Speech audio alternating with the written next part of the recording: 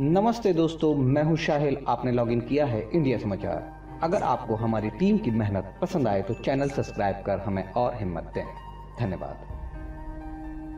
PS academy में बच्चों को दिया ज़िंदगी में आगे बढ़ने का प्रशिक्षण खंदौली के सेमरा गाँव में स्थित पीएस एकेडमी में बच्चों को अपने भविष्य में आगे बढ़ने की व ब्यूटी टिप्स व बुरी संगत का असर अपने ऊपर न आने दें, ऐसी ही कुछ बातें पीएस एकेडमी में मुख्य अतिथि हेमा बजाज ने बच्चों को बताई।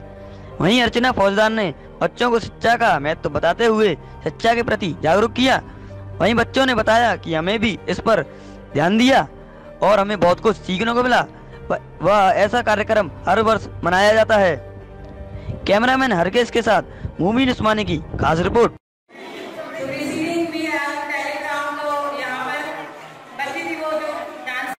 ये जो प्रोग्राम रखा गया आपको कैसा लग रहा है? बहुत अच्छा लग रहा है।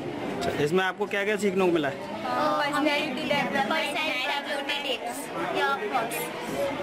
एंड मतलब हमें ये भी सीखने को मिला है कि कैसे हमें लाइफ में बढ़ना है आगे। That is so important for us ठीक। और कुछ कहना? ये सर की जो स्कूल है इसके बच्चे बहुत ही टैलेंटेड बहुत ही होनहार और इंटेलिजेंट बच्चे हैं। और मैं ये चाहती हूँ ये स्कूल ज़्यादा से ज़्यादा बच्चों को डेवलप करा और आगे जाए। Director principal sir very very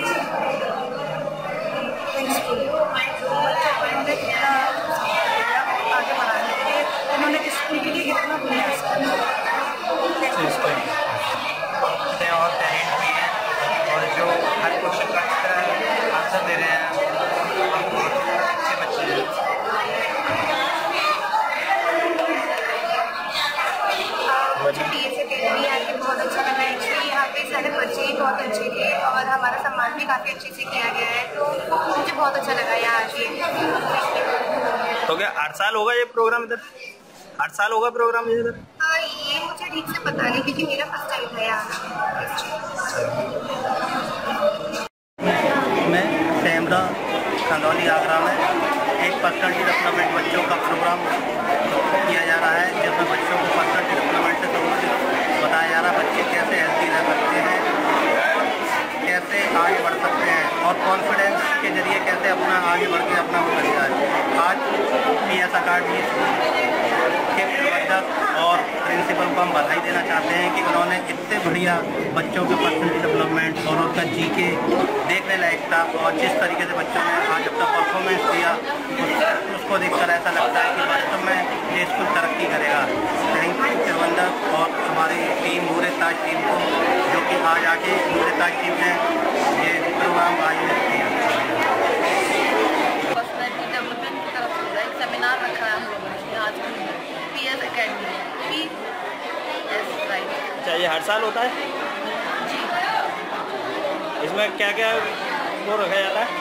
यहाँ पे आके हमें बच्चों के बारे में पता चला उनकी उनको बताया हमने उनकी पर्सनैलिटी के बारे में कि हमें कैसे फिजिकली अपने आप को मेंटेन करके रखना है। बच्चों को हेल्दी फ़ूड एंड एक्सरसाइज क्या करना है क्या नहीं ये सारी चीज़ें हमने उन्हें बताई। क्योंकि अभी से वो जानेंगे तभी एक अच्छे वो बन पाएँगे। सर आप आप इधर प्रिंसिपल हैं डायरेक्ट जी मैं डायरेक्टर हूँ यहाँ पर। और मैं धन्यवाद करना चाहूँगा हेमा जी का। कि उन्होंने पूरी टीम के साथ यहाँ पे प्रोग्राम रखा हुआ है।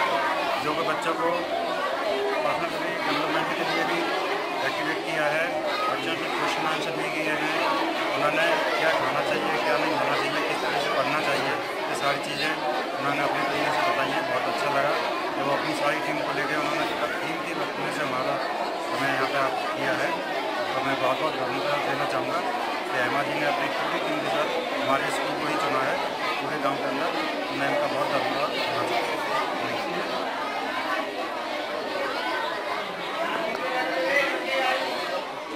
चलो और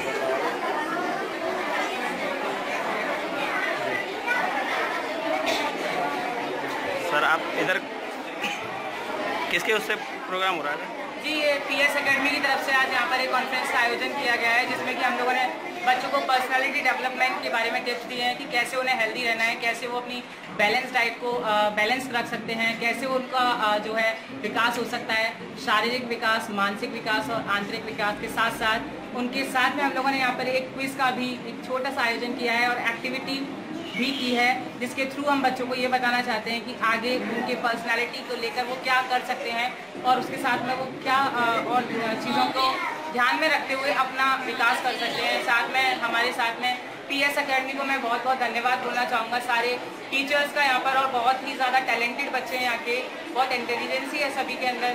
तो बहुत अच्छा लगा पी एस में आके एंड वी वांट कि स्कूल बहुत आगे जाए, क्योंकि पूरे खंदौली में हम लोगों ने यही स्कूल सेलेक्ट किया because it has the capability to organise this बिल्लोज Kumar ji यहाँ के डायरेक्टर हैं और साथ में मिस्टर भरत जी ने मेरा बहुत कॉपरेट किया यहाँ पे।